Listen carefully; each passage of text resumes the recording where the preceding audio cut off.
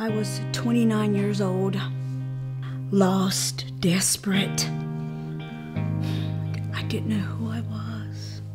And I mean, I just spiraled down. You know, it was it was something to watch over about 20 years. I had gone down so far and just lost touch that I couldn't figure out how to get back up. What I did know is when I looked in the mirror, I hated who was looking back at me. You know, I had come to the end of my road, uh, you know, in, in, active addiction, drug addiction, home, chronic homelessness, uh, medical issues. I just drank all the time, every day, from the time I got up until the time I went to, to sleep. You know, had no job, no income, and virtually no hope. I actually was in a point where I was happier if I was in jail or in a mental institution.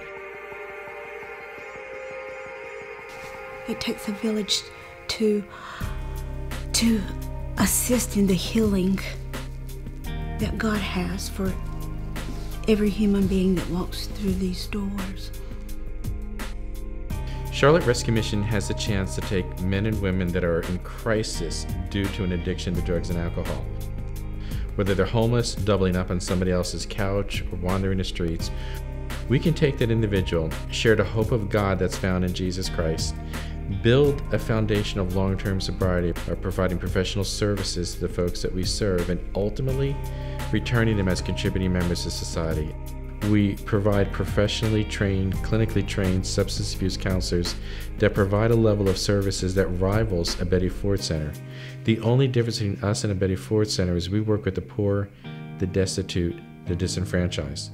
Folks that would never get the quality of services except that through the generous support of our donors, Charlotte Rescue Mission is able to provide these services and work to change a person's life from the inside out.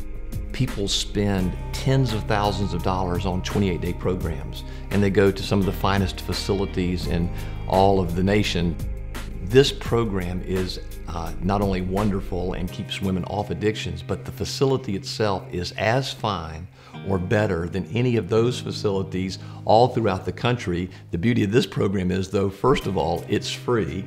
Secondly, it works and goes beyond just 28 days. Between uh, what I've gotten from coming to the rebound program, the Charlotte Rescue Missions office, and God is, you know, relationship I've established with God, and my recovery, that now I'm I'm uh, in a, a place, in a space where I uh, like me more.